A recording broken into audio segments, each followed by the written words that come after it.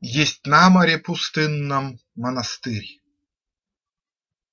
Сочетание петь и плакать не однажды и не случайно встречается в поэзии Николая Гумилева.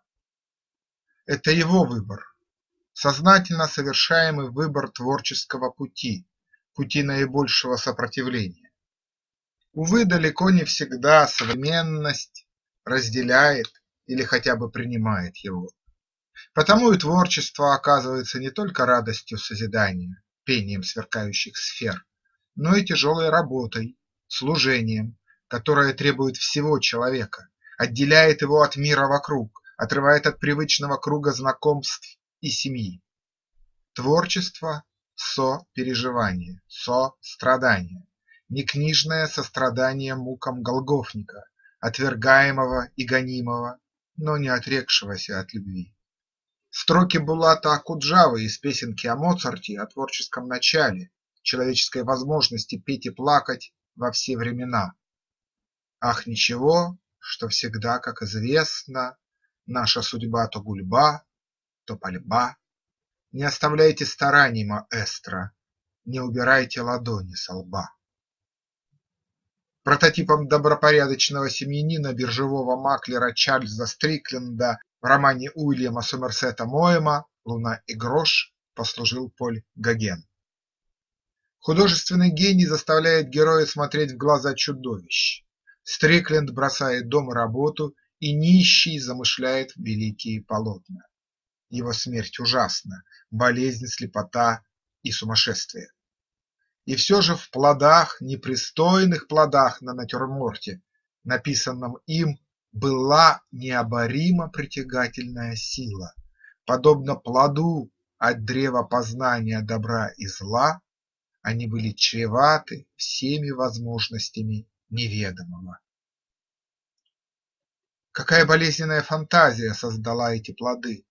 В кабинете врача-материалиста, грузного и толстого мужчины, свидетеля кончины гения, Автор повествования пугливо взирает на эту груду вышедших из-под кисти художника бананов, манго и апельсинов. Они выросли в полинезийском саду Гесперид. Было в них что-то странно живое, казалось, что они возникли в ту темную пору истории Земли, когда вещи еще не затвердели в неизменности форм. Они были избыточно роскошны, тяжелы от напитавшего их аромата тропиков, они дышали мрачной страстью, это были заколдованные плоды. Отведать их значило бы прикоснуться Бог весь каким тайнам человеческой души, проникнуть в неприступные воздушные замки. Они набухли нежданными опасностями, и того, кто надкусил бы их, могли обратить в зверя или в Бога. Уильям Сомерсет Моэм «Луна и грош.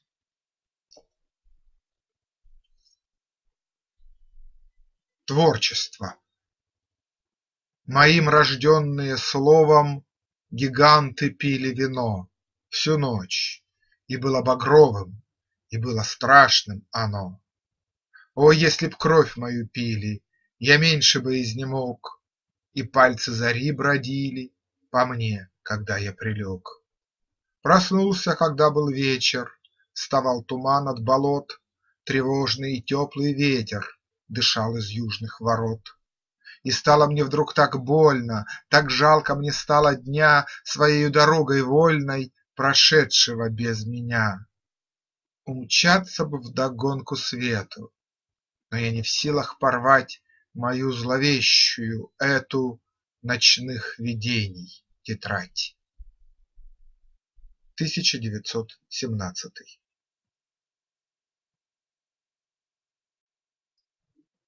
Детски мудрое, до боли сладкое ощущение собственного незнания – вот то, что нам дает неведомое. Франсуа Виллон, спрашивая, где теперь прекраснейшие дамы древности, отвечает сам себе горестным восклицанием: «Mais où увы, где прошлогодний снег. И это сильнее дает нам почувствовать нездешнее, чем целые томы рассуждений, на какой стороне Луны находятся души усопших. Николай Гумилев Наследие символизма и акмеизм Поэт не скрывал, что творит миф, подлинное бытие чувства и мысли, и вместе с мифом мифотворец творил себя, как художник автопортрет, постоянно сверяя собственное представление о себе с тем, что видит со стороны. Его воля удивляла, раздражала и привлекала внимание даже тех, кто за деревьями обыкновенно не видит леса. Блок и Гумилев не только разные мироощущения, это разные стихии творчества, это Моцарт и Сальери нашей поэзии. Блок вещал, Гумилев выдумывал, Блок творил, Гумилев изобретал, Блок был художником, артистом, Гумилев был мастером, техником, Блок был больше поэтом, чем стихослагателем. Поэзия была ему дороже стихов. Гумилев был версификатором, филологом по преимуществу. «Я угрюмый и упрямый зодчий града, восставшего во мгле», – сказал себе Гумилев, огненный стоп. И в самом деле он был строителем прежде всего. Стихи не вылетали у него, как пух из уст Эола, а чеканились, как ювелирная вещь, строились, как архитектурное сооружение. Эрих Голлербах «Дары поэтов»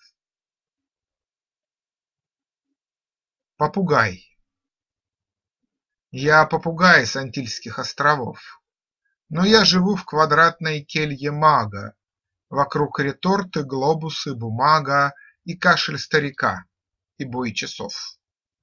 Пусть в час заклятий, вихре голосов и в блеске глаз, мерцающих как шпага, Ерошат крылья ужас и отвага, и я сражаюсь с призраками сов. Пусть но едва под этот свод унылый Войдет гадать о картах иль о милой Распутник в раззолоченном плаще, Мне грезится корабль в тиши залива, Я вспоминаю солнце и вообще Стремлюсь забыть, что тайна некрасива. 1909 На далеком от Великобритании острове Местные жители сочувственно и охотно мирились со всеми выходками Чарльза Стрикленда. Эти люди, туземцы и европейцы, считали его чудаком, но чудаки были им не вновь. Они считали вполне естественным, что мир полон странных людей, которые совершают странные поступки. Они понимали, что человек не то, чем он хочет быть, но то, чем не может не быть. Уильям Сомерсет Моэм «Луна и грош» Не знаю, кто ты, набожный эстет Или дикарь в пиджак переодетый, Под звук органа или кастаньет Слагаешь ты консонные сонеты. Что бы сказал Эрих Федорович, узнай он, какие чудачества вытворял этот версификатор, филолог по преимуществу, в Абиссинии.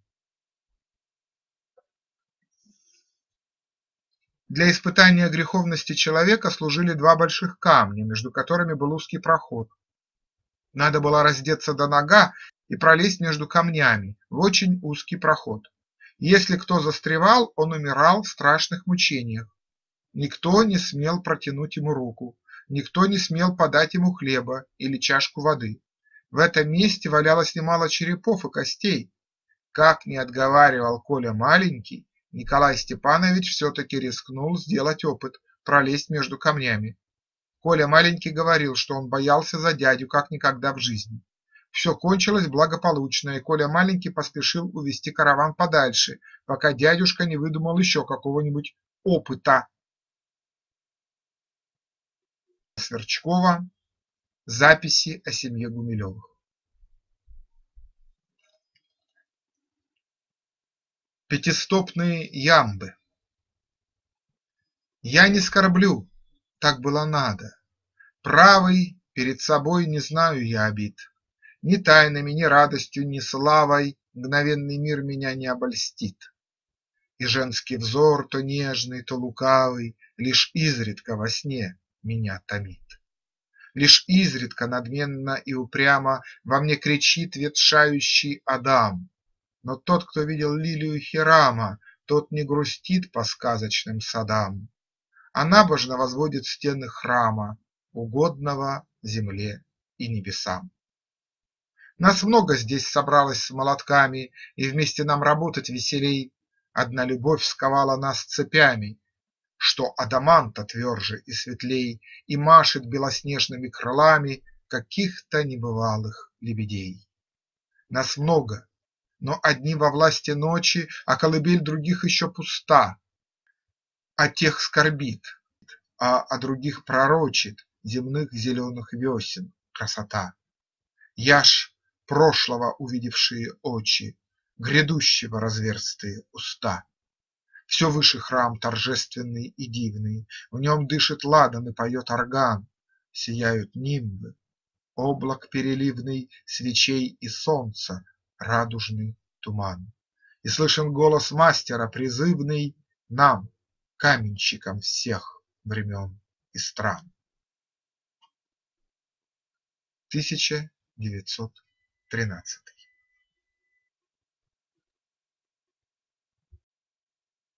Каменщики объединялись. 20 октября 1911 года на Фонтанке состоялось первое собрание цеха поэтов, задуманного в противовес Академии стиха, где безраздельно властвовал Вячеслав Иванов. Поэты Гумилев, Городецкий и Мандельштам объявили о появлении нового литературного направления, пришедшего на смену символизма, направления, которое требует большего равновесия сил и более точного знания отношений между субъектом и объектом, чем то было в символизме. Гумилев «Наследие символизма и акмеизм». Никто из них, однако, не догадывался еще о том, что, подобно Августину Аврелию, им суждено будет исповедовать душу и превозмогать силу обстоятельств так, чтобы уравновесить силы, мысли и образы в любовном служении своему искусству. Акмеизм – это тоска по мировой культуре, скажет в начале тридцатых Осип Мандельштам.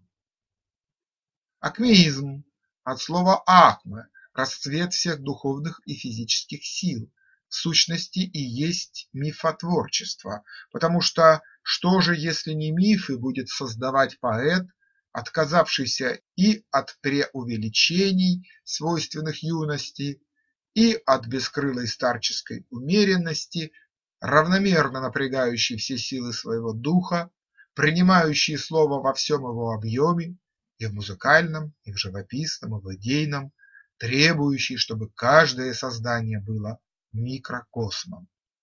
Критика не раз отмечала у символистов преобладание подлежащего над сказуемым. Акмеизм нашел это сказуемое в логически-музыкальном, непрерывном на протяжении всего стихотворения развитии образа идеи. Николай Гумилев. Письма русской поэзии. Снова море. Я сегодня опять услышал, как тяжелый якорь ползет, И я видел, как в море вышел пятипалубный пароход. Оттого-то и солнце дышит, а земля говорит, поет. Неужели хоть одна есть крыса в грязной кухне Или червь в норе, хоть один беззубый и лысый И помешанный на добре, что не слышат песни Улисса, призывающего к игре. Ах, к игре с трезубцем Нептуна, с косами диких нереид, В час, когда буруны, как струны, звонко лопаются и дрожит Пена в них или груди юной, самой нежной из Афродит. Вот и я выхожу из дома повстречаться с иной судьбой. Целый мир чужой и знакомый, Породниться готов со мной. Берегов изгибы, изломы, и вода, и ветер морской. Солнце духа, ах, беззакатно, Не земле его побороть, Никогда не вернусь обратно, Усмирю усталую плоть, Если лето благоприятно, Если любит меня Господь. 1913 Объективность реализма, субъективность символизма, Ветхие измы теорий, невнятные ивности направлений.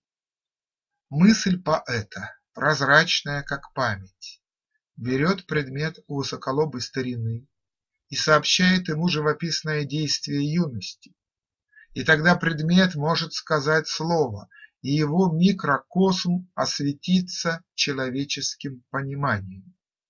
Мысль подобна свету, и так же, как свет в мгновение ока овладевает душами, учтивыми с ней, и так же, как свет не знает течения времени. Так здравствует мысль, мудрая и вечно молодая, мифотворчество юной души.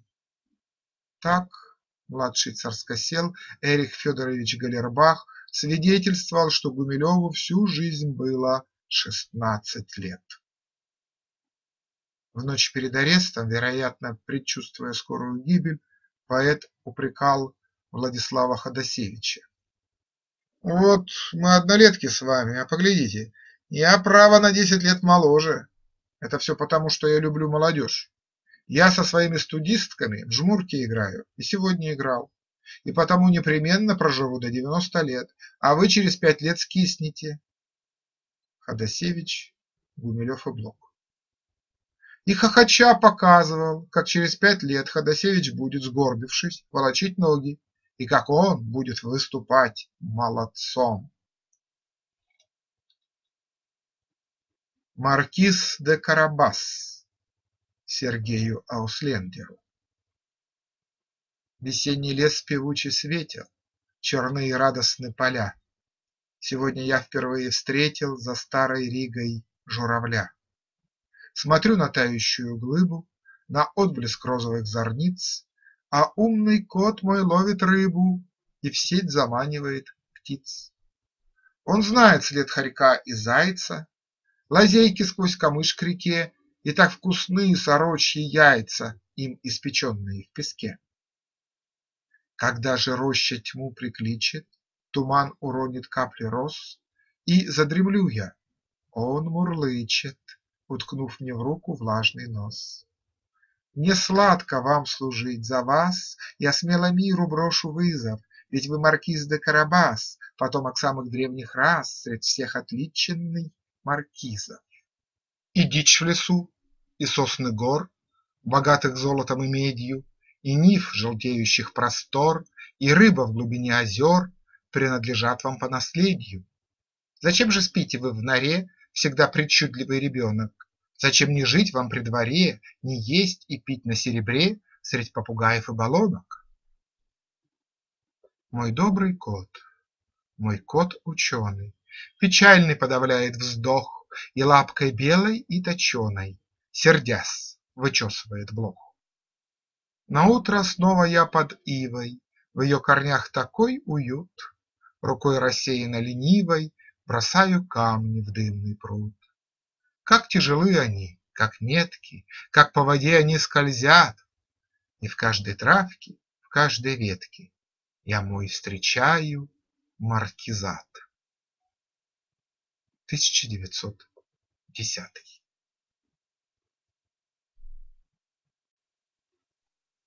Что ждать, на что надеяться в жизни? Паладин выбирает оружие и готовится к битве. Монах воздает молитвы во спасение, Отпевает убиенных и благословляет на бой. И вечно так всю жизнь рука в руку. Алеша Карамазов в душевной простоте своей возлагал надежды на славных в одном прекрасном и едином на всех чувстве безоружных русских мальчиков. Голубчики мои, дайте я вас так назову голубчиками, потому что вы все очень похожи на них, на этих хорошеньких сизых птичек. Теперь, в эту минуту, как я смотрю на ваши добрые милые лица, милые мои деточки, может быть, вы не поймете, что я вам скажу, потому что я говорю часто очень непонятно, но вы все-таки запомните и потом когда-нибудь согласитесь с моими словами. Знайте же, что нет ничего выше и сильнее, и здоровее, и полезнее впредь для жизни, как хорошее какое-нибудь воспоминание, и особенно вынесенное еще из детства, из родительского дома. Вам много говорят про воспитание ваше, а вот какое-нибудь этакое прекрасное святое воспоминание сохраненное с детства, может быть, самое лучшее воспитание и есть. Если много набрать таких воспоминаний с собою в жизнь, то спасен человек на всю жизнь. И даже если и одно только хорошее воспоминание при нас останется в нашем сердце, то и то может послужить когда-нибудь нам во спасение. Федор Достоевский, братья Карамазовы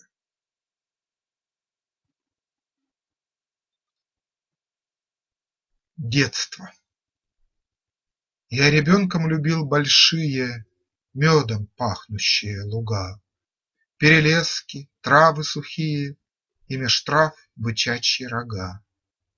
Каждый пыльный куст придорожный мне кричал Я шучу с тобой, обойди меня осторожно И узнаешь, кто я такой.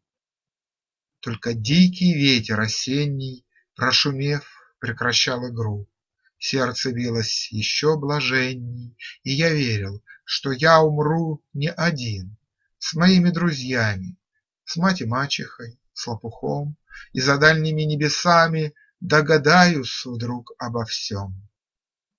Я зато и люблю затеи Грозовых военных забав, Что людская кровь не святее Изумрудного сока трав. 1900 шестнадцатый. Рыцарь с душой монаха, акмеист Николай Гумилев, он же новейший романтик. В этом, наверное, была права восторженная почитательница, когда восхищалась им как первым поэтом. Поэзия предшествует философии. Романтизм новейшего времени – это экзистенциализм. Гумилев Поэт-экзистенциалист, пожалуй, единственный, кто пел, а не высказывал мысль этого модного к середине XX века литературно-философского направления. В России накануне Первой мировой войны философия существования занимала умы Льва Шестова и Николая Бердяева. Уже после экзистенциализм пришел в Германию и заговорил языком Мартина Хайдегера и Карла Ясперса, когда же настало время новых испытаний, его суровое речение вооружало окруженных, но не побежденных сынов Галлии – Альбер Камю и Жан-Поль Сартр, только некоторые из них.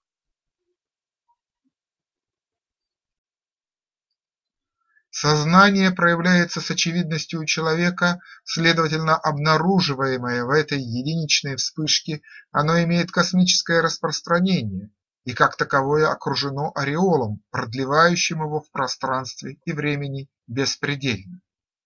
Пьер Тейяр «Феномен человека». Как некогда в эпоху античной классики мудрый Сократ обратил взоры афинян от мира внешнего к человеку, так снова человеку пришлось пристально вглядеться в себя. Безотрадная картина предстала пред ним. Человек увидел свое одиночество, заброшенность, неподлинность, будто сочные краски спелых плодов подменены неким злодеем на раскисшие пятна выжатого фруктового сока.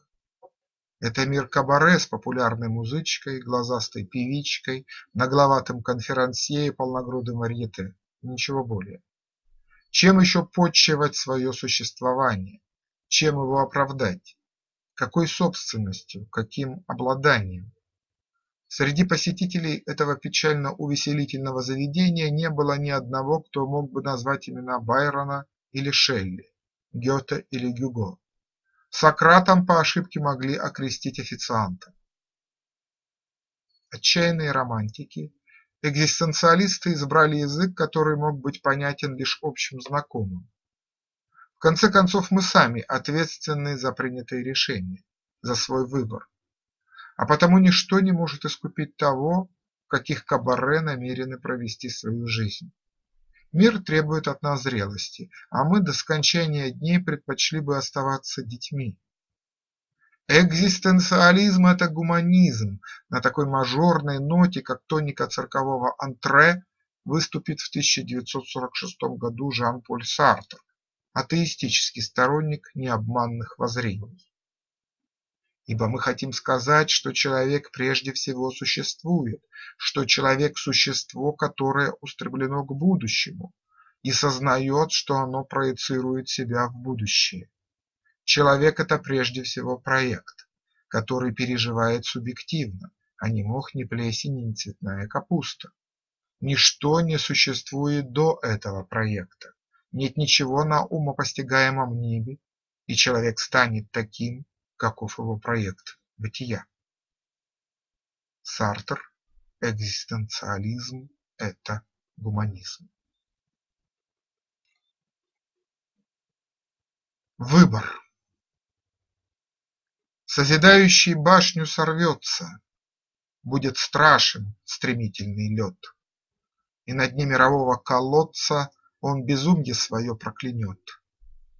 Разрушающий будет раздавлен, Опрокинут обломками плит, И всевидящим Богом оставлен Он о муке своей возопит. А ушедший в ночные пещеры Или к заводям тихой реки Повстречает свирепой пантеры наводящие ужас зрачки. Не спасешься от доли кровавой, что земным предназначила твердь. Но молчи, несравненное право самому выбирать свою смерть. 1908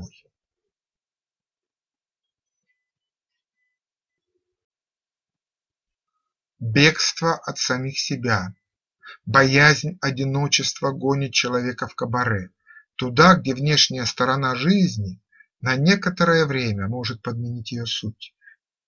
Одинокий в толпе, разобщенный с людьми, находящимися бок о бок подле, он приходит к мысли о том, что нет ничего на умопостигаемом небе, никто и ничто не существует до него самого. Тревога и ожидание чего-то непоправимого мучительно выхолащивают человеческое существо. Труднее всего оставаться наедине с самим собой. Николай Гумилев шел к самому себе, к смыслу, ради которого стоит жить, по пути наибольшего сопротивления, и манифест экзистенциализма, казалось, вторил его пути, но но у человека есть свойство все приводить к единству, по большей части он приходит этим путем к Богу. Гумилев. Письма русской поэзии. Это единство, на море пустынном монастырь, общение в самом себе, чего так боялся левоэкстремистски настроенный Жан-Поль. Там поднимается завеса тайны над нашим сиюминутным «я», обнаруживаемое за ним, быть может, детское, но в любом случае не беспамятное начало, чтобы затем приобщить его к миру, душам близким родным, вещам привычным, милым и драгоценным. Пятистопные ямбы Михаилу Лозинскому Я помню ночь, как черную наяду, В морях под знаком Южного Креста я плыл на юг, могучих волн громаду Взрывали мощно лопасти винта. И встречные суда, очей отраду, Брала почти мгновенно темнота. О, как я их жалел!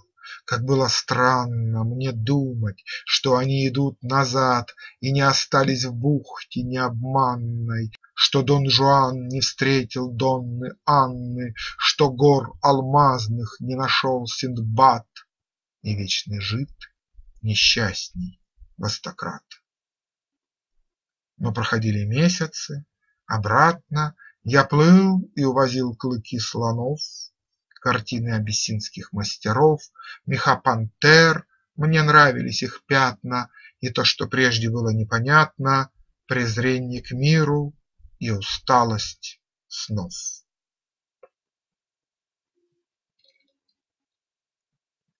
Экзистенциалист охотно заявит, что человек – это тревога, а это означает, что человек, который на что-то решается и сознает, что выбирает не только свое собственное бытие, но что он еще и законодатель, выбирающий одновременно с собой и все человечество, не может избежать чувства полной и глубокой ответственности. Жан-Поль Сартр «Экзистенциализм – это гуманизм».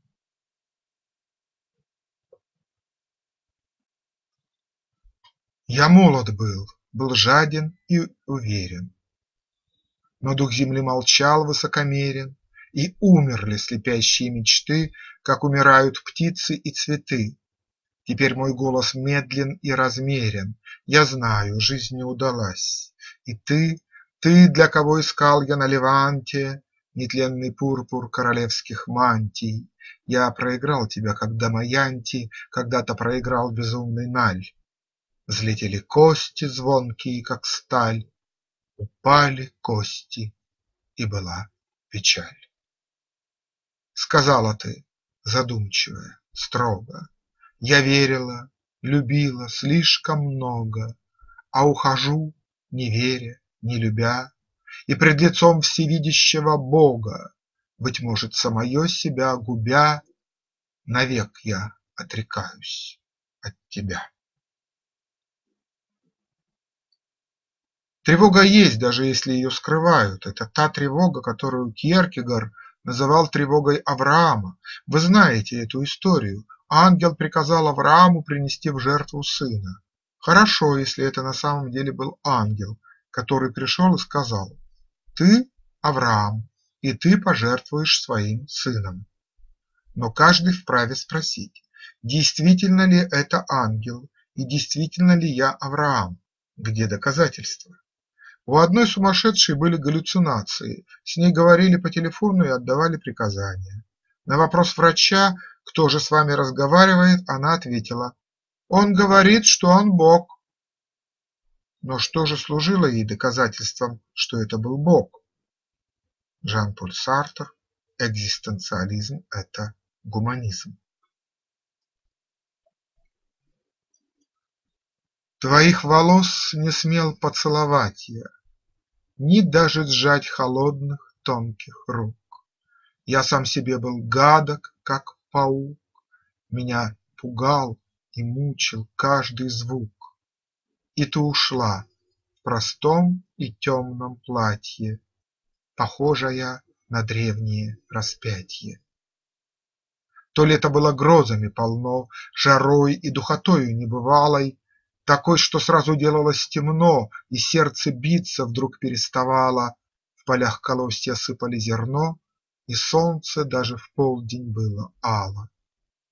И в реве человеческой толпы, в гуденье проезжающих орудий, в немолчном зове боевой трубы я вдруг услышал песнь моей судьбы и побежал, куда бежали люди, покорно повторяя: "Буди, буди". Если мне явится ангел, то откуда я узнаю, что это и на самом деле ангел? И если я услышу голоса, то что докажет, что они доносятся с небес, а не из ада или подсознания, что это не следствие патологического состояния? Что докажет, что они обращены именно ко мне?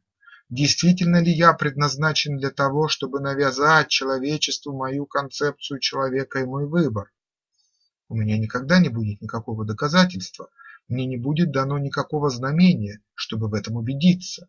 Если я услышу голос, то только мне решать, является ли он глазом ангела. Если я сочту данный поступок благим, то именно я, а не кто-то другой, решаю, что это поступок благой, а не злой.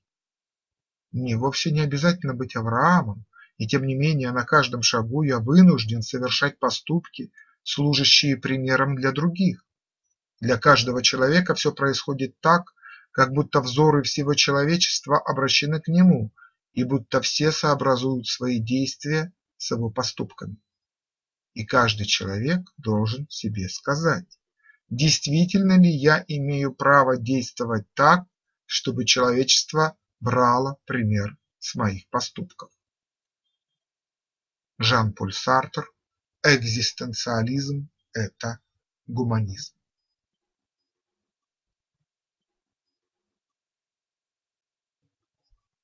Солдаты громко пели, и слова невнятны были, Сердце их ловило.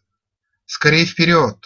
Могила так могила, нам ложем будет свежая трава, А пологом зеленая листва, Союзникам архангельская сила.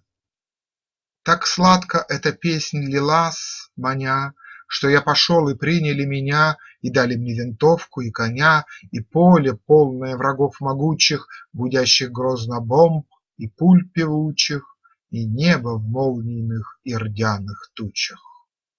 И счастьем душа обожжена, С тех самых пор весельем полна, И ясностью и мудростью о Боге Со звездами беседует она, Глаз Бога слышит воинской тревоге И Божьими зовет свои дороги. Не за собой, не перед собой В светлом царстве ценностей У нас не имеется ни оправданий, ни извинений. Мы одиноки, и нет нам извинений.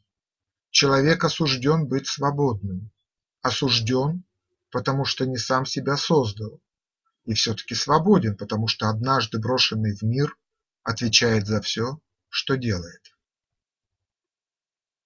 Жан-Поль Сартр Экзистенциализм – это гуманизм.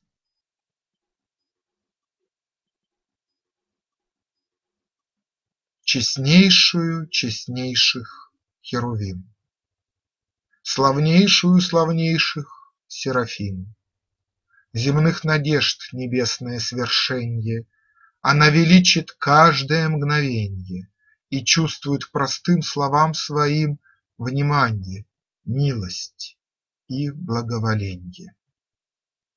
Есть на море пустынном монастырь Из камня белого, золотоглавый, Он озарен немеркнущею славой. Туда пойти покинув мир лукавый, Смотреть на ширь воды и небо ширь, В тот золотой и белый монастырь. 1912-1915